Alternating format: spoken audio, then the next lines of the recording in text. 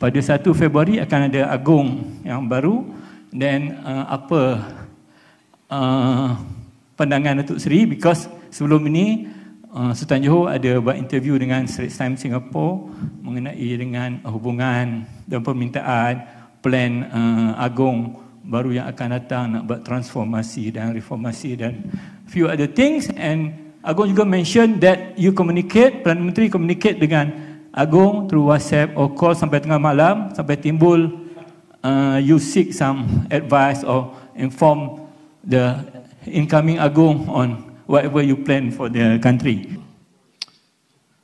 Saya uh, memang syukur Alhamdulillah kerana Agung sekarang Tunku Abdullah faham hubungan sangat baik, sangat akrab. Hmm. Dan sedemikian keluarga, Amin pernah dia datang sini dengan keluarga, makan-makan, santai. Amin, saya ingat satu keadaan yang sangat baik, bincang. Dan saya fikir saya boleh teruskan dengan Johor begitu. Cuma Johor ada beberapa kenyataan. Tapi kalau kalau seperti mana tuanku Sultan Johor sebut, juga kepada saya kepada media dia kata dia faham jangan anggap dia tuanku Sultan Johor sebagai sultan Johor dan bakal agung kata dia tidak faham perlembagaan dia faham perlembagaan kata. I understand the constitution okay. tapi dia kata dia ada lontarkan beberapa idea jadi kata apalah bincang dengan Perdana Menteri dan Perdana Menteri putuskanlah apa yang sebaiknya dalam perbincangan itu.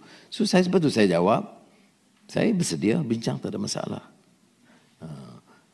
Kerana concern Tuanku Johor juga kerana ialah isu rasuah yang sangat besar dan menular menjadi sebagai isu yang saya sebut sebagai sistemik.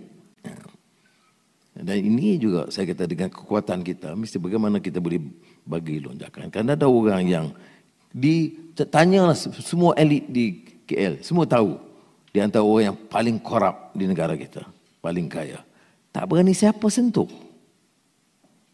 it, it, it reflect a failure of the entire system governance and institutions no tapi orang tak sentuh sebab apa tak berani sebab apa tak berani too strong hmm.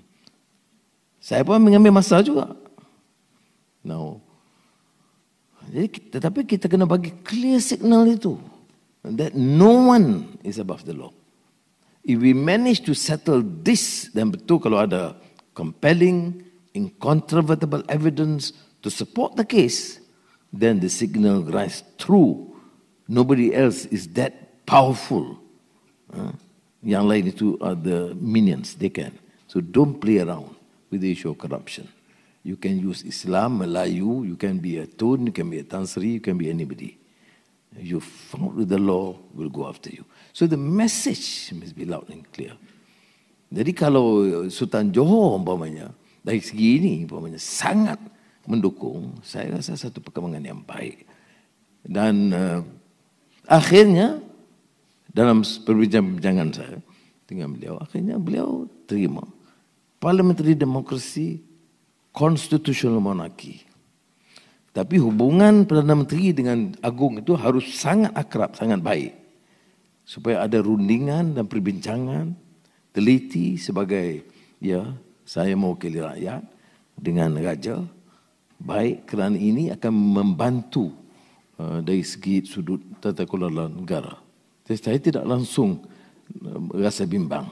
Cuma saya perlu waktu Eh, kalau dengar apa-apa untuk terus pundi. Memang betul tuanku Sultan Johor sebut soal WhatsApp, soal pandangan, soal uh, telefon, soal pertemuan itu memang kerap dengan beliau. Lama sebelum beliau jadi agung memang daripada awal.